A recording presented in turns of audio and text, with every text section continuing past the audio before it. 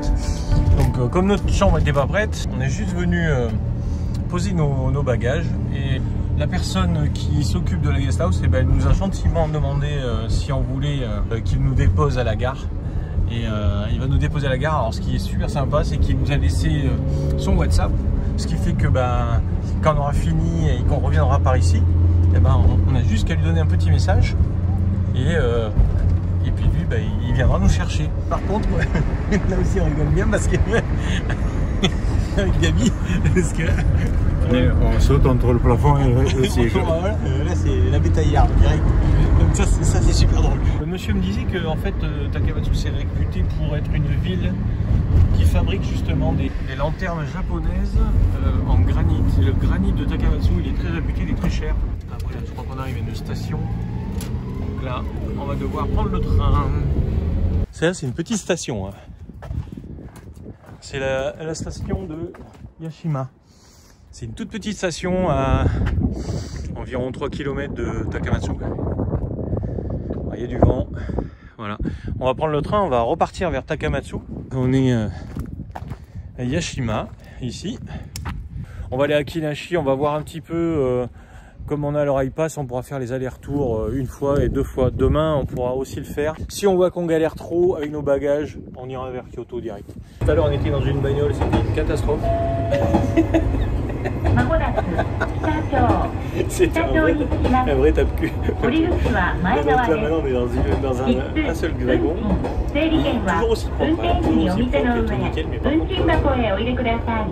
par contre, voilà, c'est un peu vieux quand même. D'ailleurs, euh, en fait, le train s'est arrêté parce que eh ben, il, laisse passer l'autre train. Euh, ici, il n'y a pas de deux trains qui peuvent se croiser, c'est pas possible. Je vais essayer de prendre un, truc à boire. Et là, il n'y a absolument rien d'écrit en anglais ni en français. Marqué en japonais de partout, là, regardez, voilà. Ok. Donc, on a mangé un, un, un sandwich avec du pain foncé ouais. Euh, Du pain blanc, euh, comme chez nous. C'est moelleux ici. Tout ce qu'on mange, c'est mou. Tout, tout ce qu'on mange, c'est mou, ouais. C'est- vrai, c'est c'est un truc de fou. Ils mangent que des trucs mous. Après, on a mangé plein de choses. hein. On a goûté plein de choses. Malgré qu'on ait goûté, on n'a toujours pas su ce que, c'était. C'est bien, c'est bon. J'ai bien vu, c'était du lait. Alors, par contre, je sais pas trop. Je pense pas que ce soit du lait. C'est du lait entier, je crois. Ouais, c'est du lait entier. Bon, c'est bon, ça va. Ah, il a besoin de sa Ah, il mère, encore, il a besoin de son bibi. C'est son bibi de 13 heures. Là, je voulais essayer. Je, je me demandais si c'était du chocolat au lait, de- quelque chose, euh, voilà, ou un café. Pendant ce temps, on va voir les pains noirs, hein, les pépinières de pain noir. On a bien rigolé quand même avec le taxi. hein. C'était terrible. La séance avec le taxi, je vais vous la mettre, je vais vous la laisser parce que le mec, il était paumé jusqu'au bout, quoi. Même sur le parking, quand on est arrivé, il était paumé, le mec. Il a failli bousiller sa voiture et tout. En réalité, c'est Fabrice qui l'a amené à Ah ouais, c'est- quoi, c'est- avec pour son une- téléphone GPS. Pour le euh, coup, c'est moi qui l'ai amené. Je tourne quand même la caméra, je sais Ouais, pas si vas-y, vas-y. Regardez, en rang, ils commencent à moufte pas. Ils sont bien rangés. Il n'y en a pas un qui crie.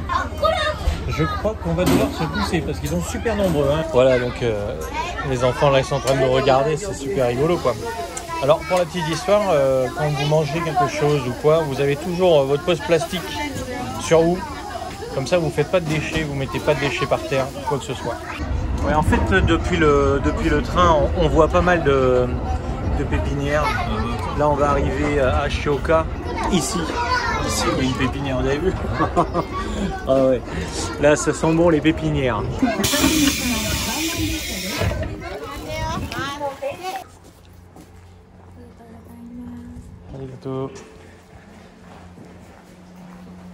Toujours montrer son passe.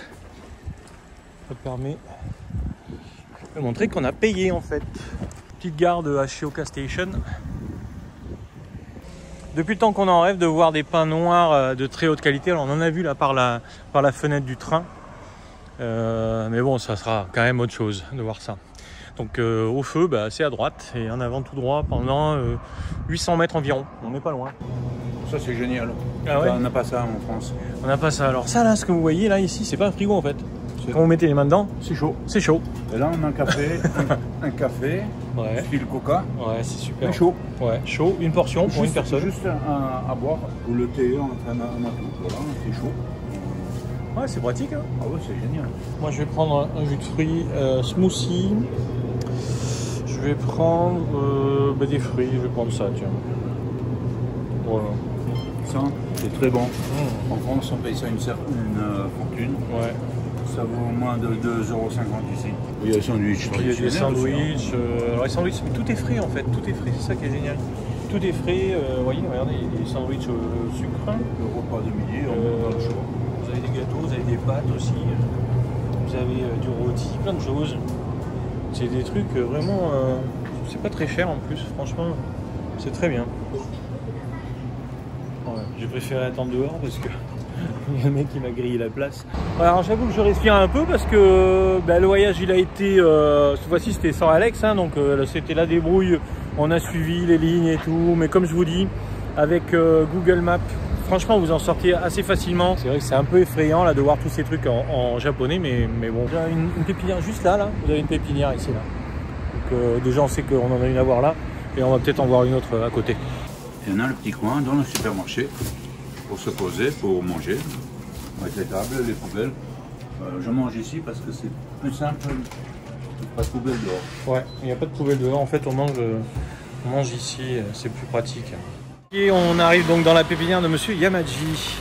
C'est un monsieur qu'on connaît très bien sur Nejikan Bonsai, puisque c'est un monsieur qui est le maître de monsieur Philippe de Blaise, qu'on avait vu déjà dans plusieurs vidéos. Donc ici, euh, ben, monsieur Yamaji, il semble être spécialisé bien sûr dans les pins.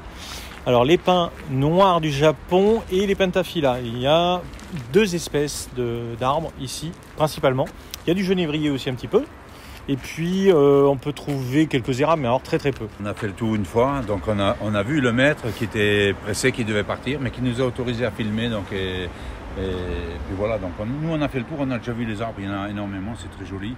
On va vous faire voir quelques trucs que- qui, nous ont, Qui nous ont marqué. qui nous ont marqué. Voilà. Alors en premier lieu, on va commencer par le Corticosa ici là. Une très très belle pièce. Et c'est un arbre incroyable. Alors ce sont des arbres qui sont greffés, très particuliers. Euh, on aime ou on n'aime pas.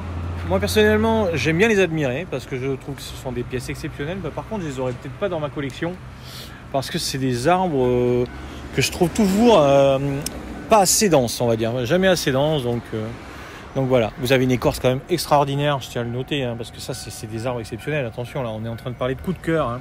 Les qualités de cet arbre sont, sont incroyables. hein. Voilà, mais c'est quand même particulier. Donc euh, voilà. Alors ensuite, on a repéré euh, quelques petits pentaphyla ici. Alors greffé, un pentaphyla greffé. On voit bien la greffe d'ailleurs ici. Donc ça, c'est une partie qui est le pain noir, et ça, c'est une partie qui est le pain blanc. Le pain noir parce qu'il est très fort, et le pain, le pain blanc parce qu'il est ben, plus faible. On a quand même des pièces euh, assez impressionnantes comme ici, avec des gros diamètres, des gros diamètres de tronc. Ici, là, j'en je trouve qu'il y en a un qui est pas trop mal, euh, je dirais même euh, pas mal du tout. hein. C'est un grand arbre. Regardez. On n'est pas sur le Niwaki, mais presque. Presque, presque. Ah, Gabi s'est arrêté devant un arbre. euh, Non, c'est pour faire voir un petit détail donc, qu'on retrouve souvent. Donc la, greffe hein, du pain blanc et du pain noir qui se trouve à ce niveau. Donc le pain noir a grossi davantage. Et là, si vous regardez bien, vous voyez des coups de cutter. C'est une scarification qui était faite pour essayer de rattraper un peu euh, de conicité. Malgré les, scarifications qu'on voit tout le tour, on voit quand même euh, la différence avec la, greffe. C'est un bel arbre hein, qui a ce défaut. C'est un bel arbre ancien surtout, c'est un vieil arbre. Alors bien sûr, hein, ce que je vous dis assez régulièrement, c'est que par rapport au greffe, vous aurez toujours ce défaut récurrent de ce bourrelet. Je vais vous le montrer, là on voit peut-être mieux comme ça, vous voyez. On a vraiment un bourrelet ici, puis de l'autre côté hein, tout le long. Et ça, euh, c'est récurrent, on ne pourra jamais gommer ce problème au niveau des greffes. Donc ça reste un sujet magnifique, mais, euh, mais avec un défaut. Alors il faut, faut voilà, les défauts et les qualités des arbres. hein. Ici, euh. Ouais, Ici, je trouve que ouais, celui-là, il est quand même. Waouh, celui-là, il est beau. hein. Celui-là, il est costaud. hein. Une, belle lanterne aussi. hein. Une belle lanterne. Alors, euh, on est à Takamatsu. Il faut savoir qu'à Takamatsu, vous avez euh, du granit. Euh, Il y a beaucoup, beaucoup de gens qui vendent du granit et des, et des euh, lanternes. euh, Et ça, ça fait partie des lanternes de granit du, de Takamatsu. Donc ici, vous avez affaire à un pain noir quand même, euh, qui est de, de belle qualité, tout, euh, tout entier. Je veux dire, ça, c'est un, c'est pas de la greffe, c'est vraiment euh, un pain euh, entier, vieux, Il a été certainement cultivé en pleine terre. Ça, fait partie des arbres qui sont cultivés ici, en plein champ. Euh, et vous obtenez ça au bout de 40, 40 ans à peu près. Quarantaine d'années. Camélia. Ouais. Ouais, c'est un cam... ouais, là, et- là, il y a eu. euh, Mais ils n'hésitent pas une seule seconde à faire des. Ça, ça devait être une grosse branche, hein, Ah donc euh, comme ça. hein, Il va jusqu'à travailler très fortement sur les arbres. Euh, ils n'hésitent pas une seule seconde sur des arbres qui sont quand même très vieux, parce que ça, c'est un arbre qui est assez vieux. Ah ouais, Et Ici, vous avez, euh, sur la gauche, là, vous avez un très beau genévrier. Vous avez un très beau pin également, un pin noir aussi, ici. Là, vous avez un très joli pin noir. Avec des très grosses branches. Regardez ces branches ici, là. Ça, c'est- ça c'est quand même des, des branches de très haute qualité. Ici et ici. Elles sont très grosses, elles sont pratiquement aussi grosses que mon poignet, un peu moins, je dirais un peu moins, mais c'est une écorce magnifique. Ici, vous avez un pain. Waouh! Il vient juste d'être travaillé celui-là, je pense. Regardez ça. Ce style magnifique. C'est beau. hein. Ici, vous avez un genévrier. Hein, On passe du coq à l'âne hein, parce que c'est vrai. Et puis on passe très vite sur les arbres. Je suis désolé, mais il y en a tellement. euh. Ici, euh, quand même, on pourrait faire un super travail. Euh, on a fait un travail déjà euh, avec Alexandre Excudero sur un Itoigawa. Celui-ci, c'est un Itoi. hein. Euh, je pense que c'est pas l'essence gold, mais il a quand même un feuillage qui est très fin. En tout cas, celui-là aussi, hein, j'aimerais bien l'avoir sur mes étagères. hein. Il est très très beau. Il y a du travail dessus, mais il, il est super beau quoi. Il- pff, vous avez une base magnifique.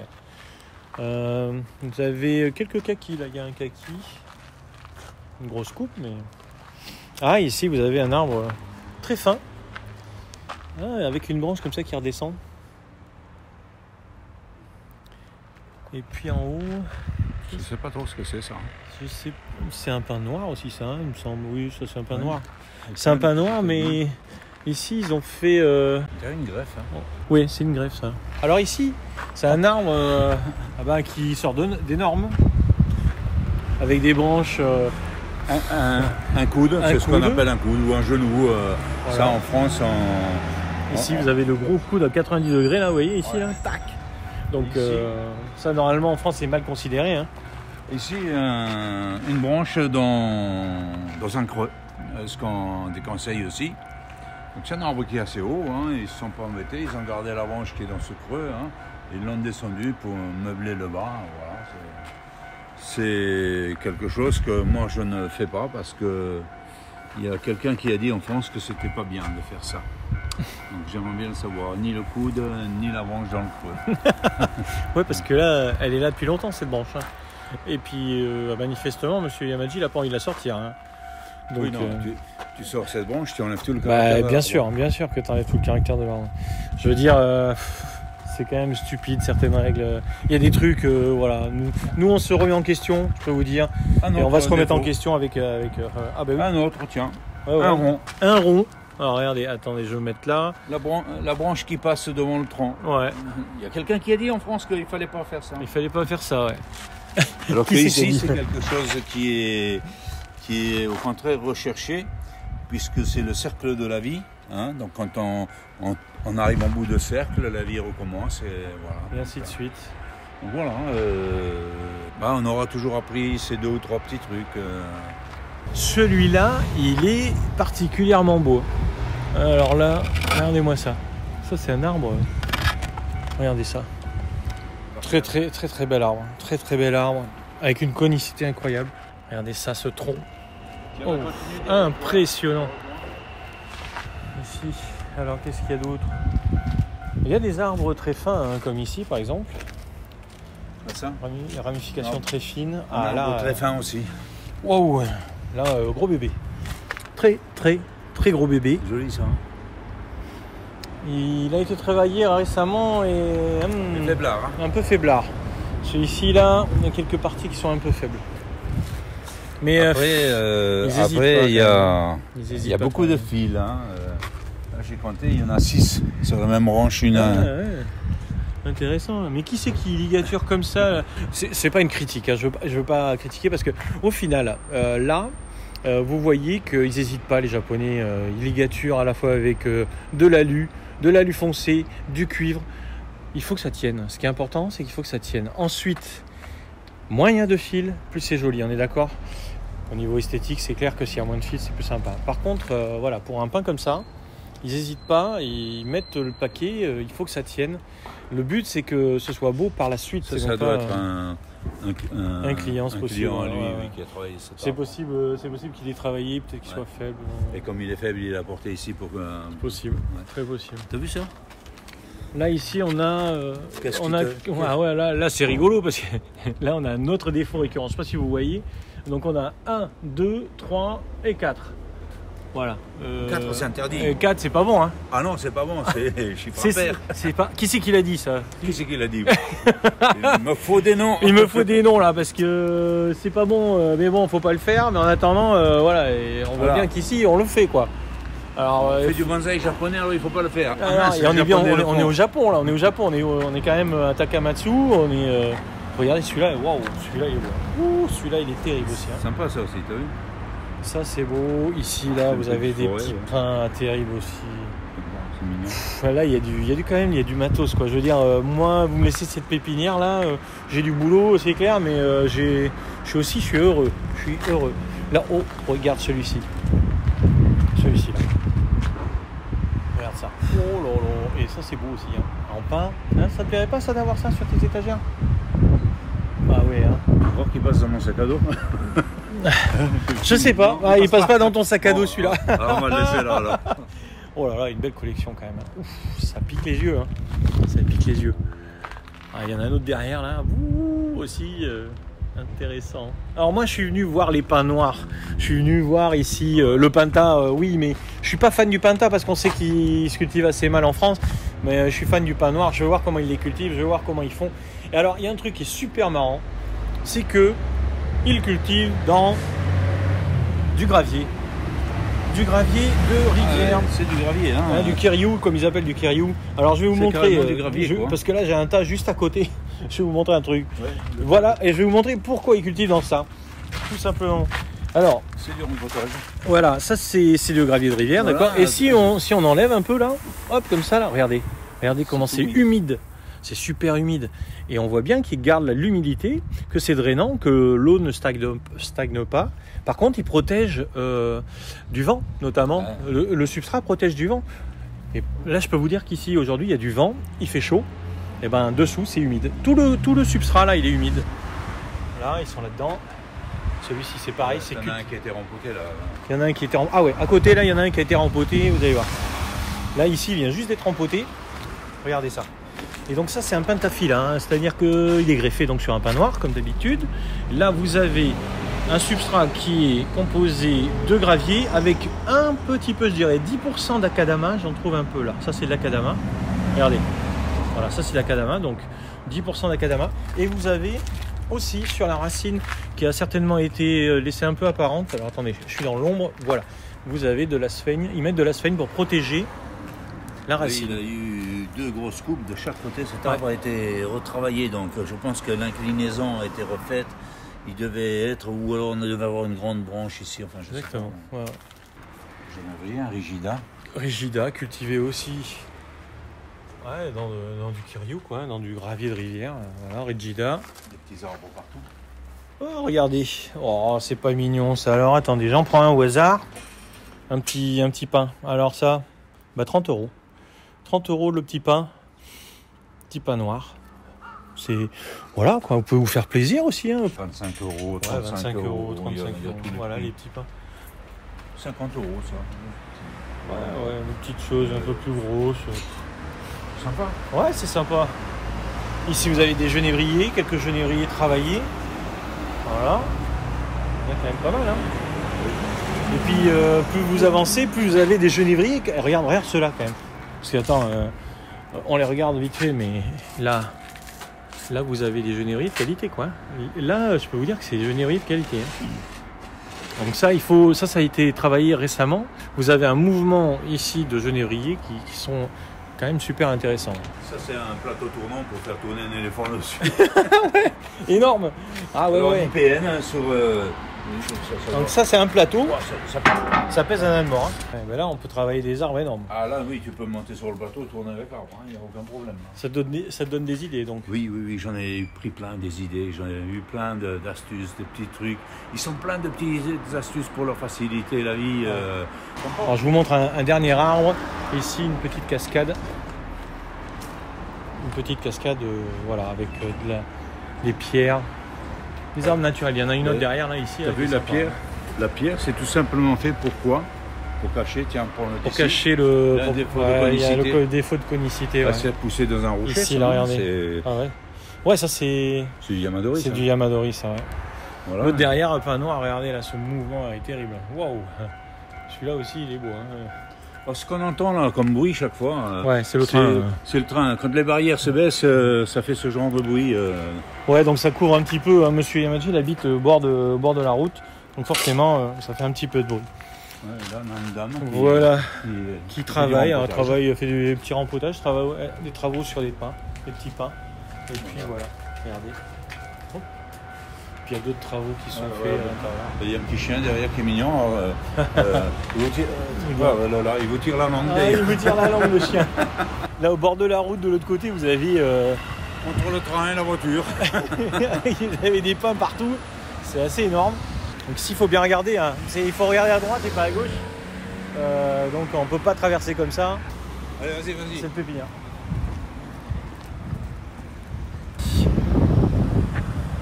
Hello, Mr. uh, Blake. Hi, how's it going? Nice to meet you. You as well? Ok, donc je vous explique. En fait, euh, on vient de le voir, euh, qui était en train de travailler euh, dans le jardin de Monsieur Yamaji, qui est en face de, de la pépinière qu'on vient de voir.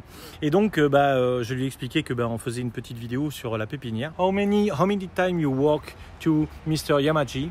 Uh, I started uh, about four months ago. Four months, ouais. Ok, Uh-huh. donc ça fait quatre mois qu'il est arrivé là. Hi, and I'm planning on staying for four years. Ah, ok. Donc, je pense qu'il va travailler pendant euh, four years, euh, pendant quatre ans. Hi. Uh, we work mostly black pine. We've also got a lot of white pine as well, Yeah. and a few species of maples. Ah, ok. Donc, il travaille sur des pins noirs principalement, mais aussi il travaille sur quelques érables, euh, notamment, je pense, parce que j'en ai vu quelques érables Burger. Et du pain blanc. Et du pain blanc. Thank you very much for um, answer to my question, Mr. Sure. Blake. No problem. Thank you. Thank you. On va le laisser continuer de travailler. hein. Il, est, il est pas mal occupé. Bah, c'est normal. hein. Ici, les, les gens qui travaillent dans les pépinières, euh, ils bossent. Quoi, hein. Donc, euh, voilà, c'est un travail parce que ce sont des- tous des professionnels. Donc, euh, donc ici, on est plutôt dans les- l'espace culture. L'espace culture avec des grands bacs de culture. Ça, ça peut être très intéressant de voir comment ils cultivent les pins. Notamment ici des pins de. Regardez un peu les substrats les bacs de culture, la taille des bacs de culture, comment ils sont grands. Wow, c'est impressionnant ces arbres. C'est énorme. C'est énorme, énorme. Vraiment impressionnant. Vraiment impressionnant. Alors, les pentaphilas, hein, beaucoup de pentaphilas ici. Gros pentaphilas, hein, ça n'a rien à voir avec euh, les tailles d'arbres qu'il y avait tout à l'heure dans la pépinière. Là, on est sur des plus gros arbres. C'est waouh, incroyable. Ici, une écorce. Ma main est toute petite en fait, hein, là. La taille de, cet arbre là, euh, c'est. Ouais, ça fait 50, 60, je sais pas, 60. Puis le bac de culture, euh, énorme. hein. On, est, on est sur presque. Mais non, parce qu'en en fait, ouais, ça reste du bonsaï, on n'est pas sur 1m10, donc. Voilà. Oui, ou pas, hein. C'est gros, ouais, ouais, c'est très très gros. Très très gros. Il y a beaucoup, beaucoup de pain. Beaucoup de pentafila, beaucoup de pain noir aussi. Là, on commence à. Ah oui il y a un- Frère de l'autre. hein. Ah ouais, là, on a un corticosa qui est sympa aussi. hein. Je vais prendre en photo parce que j'ai pris l'autre pour le Ouais, comparer. ouais. Donc c'est intéressant de voir euh, tous les travaux qui sont effectués euh, dans ces pépinières. Vous voyez, ça n'arrête pas, hein, c'est toujours ligaturé, mis en forme. Euh, là, c'est un genévrier travaillé. Je vois des mises en forme. La ligature ici, on ne se soucie pas forcément de la qualité de la ligature, dans le sens, euh, on va mettre du fil aluminium, mais on va mettre du fil de cuivre, on peut mélanger, ça pose pas de problème. Euh, vous avez énormément de penta, quoi. Énormément de pentafila, ouais. Je dirais qu'il y a plus de pentafila ici. Ah ouais, mais euh, d'accord. En fait, je suis dans un espace où il y a beaucoup de pentafila, mais de l'autre côté, je, suis en train de voir des, des noirs. Ici, vous en avez pas mal. Alors ici vous avez euh, un arbre euh, avec une très grosse base. On voit euh, ici le point de greffe. C'est intéressant aussi de voir ces, points de greffe. Ça permet de voir que bah, le défaut il sera récurrent pratiquement bah, toute la vie de l'arbre. Gabi il est en train de se perdre dans les, dans les pins. Ah, je vous cache pas que ça ressemble un petit peu hein, au jardin de Gabi, mais un petit peu simplement, hein, parce que là, euh, là c'est un autre niveau. hein. Oh, et puis là, vous avez des érables dans les serres, donc ils sont protégés. Alors vous avez une espèce de, moustiquaire, c'est une moustiquaire, ouais. J'ai l'impression qu'ils se protègent énormément des, insectes. On va aller voir euh, deux trois érables. J'ai refermé derrière moi. Faut pas que ça s'ouvre en fait. Voilà. Ici vous avez. Voilà, ici vous avez une serre, il protège beaucoup. hein. Il protège beaucoup.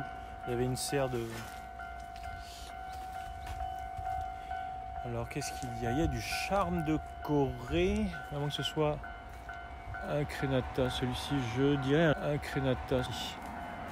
Ici, vous avez un burger magnifique. hein. Là, hum, il y, a des... il y a des petites choses. Le train qui passe juste à côté, ça, ça fait drôle. Ici, vous avez un burger énorme. Magnifique cette pièce. Ici, on ouvre doucement. Et on vient regarder donc les, genévriers qui commencent à roussir. Ils ont pris du, froid. Voilà. Pentaphylla, je pense qu'ils sont en récup. Également, ils viennent juste d'être empotés, on le voit. hein. Ils viennent juste d'être empotés ces arbres. C'est pour ça qu'on les met là, certainement. Pour qu'ils reprennent. Donc, euh, certains sont euh, en grande difficulté, je pense. Mais j'en vois pas là. Je vois un jaune. Si, il y en a un jaune derrière là-bas. Le dernier en fait sur la droite. Et sinon. euh, c'est des beaux arbres. hein. C'est, des arbres que même ça déjà euh, on trouve pas en France quoi. Compliqué de trouver ça en France. Ok donc ben voilà on a fini le petit tour de la pépinière de Monsieur Yamaji. C'est, euh, elle est composée, elle est en deux parties en fait. hein. Je pense qu'il doit y avoir euh, d'autres, d'autres endroits pour cultiver même dans un petit endroit, vous voyez, un, un petit espace, on arrive à cultiver énormément, euh, énormément d'espèces. Euh, là, c'est vrai. Dans la route en France, euh, Ouais. ça serait vite réglé. Ça serait vite réglé. ouais. Là, ici, vous voyez, regardez, le bord de la route, quoi. euh, juste derrière, il n'y a pas de barrière. On est rentré, on, est, on a pris juste euh, le petit chemin, là. Le petit chemin, c'est tout. Il a semé des radis aussi. Voilà, il a semé des radis, il a semé quelques tomates, euh, des poireaux, euh, voilà. Voilà comment on cultive le bonsaï ici. Et vous avez aussi même un petit peu de culture en pleine terre, je vais vous montrer. Pas beaucoup, hein, mais il y en a quand même. Ici, un petit peu, juste là. Voilà. Tout ceci, c'est la culture en pleine terre. Bon, on va continuer, on va, on va quitter cette euh, pépinière, on va essayer de trouver une autre pépinière, mais il y en a plein là autour de nous. On va euh, quitter la pépinière de Monsieur Yamaji. J'espère que cette vidéo vous a plu. N'hésitez pas à me laisser un petit commentaire, une question, comme d'habitude je vous réponds. N'oubliez pas de liker, partager, abonnez-vous à la chaîne et faire un tour dans la description de la vidéo, vous avez tout un tas de liens utiles. On va se retrouver pour une prochaine vidéo bien entendu et une visite encore d'une autre pépinière avec Gabi Becker. Je vous dis à très bientôt pour une prochaine vidéo sur la chaîne. Ciao